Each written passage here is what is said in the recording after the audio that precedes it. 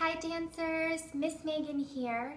I'm going to go over all of the skills that we're working on this month in our Starz Dance class, um, the month of September.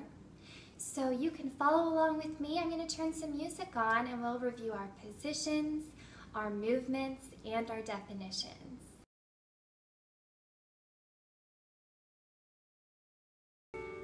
First position, we're going to put our feet together, turn those toes out to the side.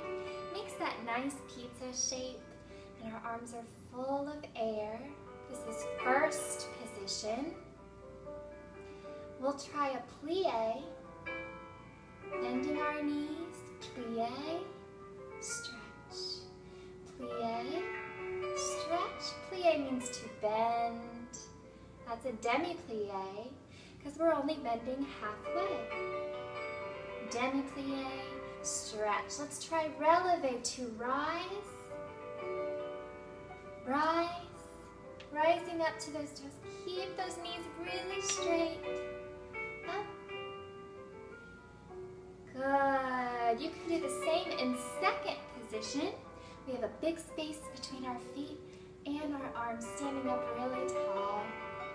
Very good. Go back to first. We'll tendu forward and switch. Good. Tendu means to stretch. We're stretching our leg, our knee, our toes, everything, our whole foot. Very nice. Next we have pique. Pique means to. Prick